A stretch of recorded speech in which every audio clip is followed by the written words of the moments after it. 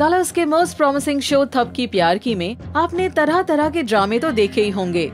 और ये ड्रामे कोई और नहीं, बल्कि श्रद्धा और शंकर ही कर रहे हैं। जो कभी भी बिहान और थपकी को एक साथ नहीं देख सकते थे। लेकिन वो कहते हैं ना, अगर कुदरत ने साथ देना चाहा तो कोई बुरी ताकत नहीं रोक सकती। तो बस एक बार फिर, आपकी चहीती मोस्ट अडोरेबल जोड़ी, जल्द ही एक दूसरे के करीब आते दिखेंगे।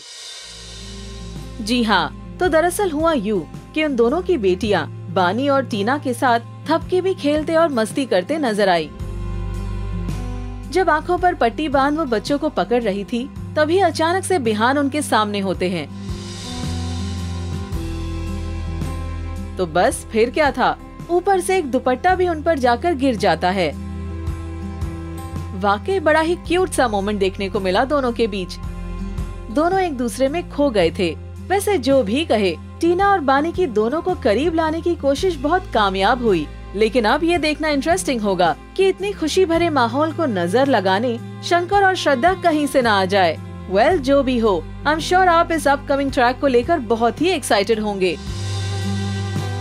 आफ्टर ऑल दोनों के बीच का ये क्यूट रोमांस देखने के लिए फैंस बहुत ईगली वेट कर रहे थे। वेल well, जल्दी से हमें लाइक्स और कमेंट्स करके ज़रूर बताएँ कि इन दोनों का ये प्यार भरा मोमेंट आपको कितना पसंद आया।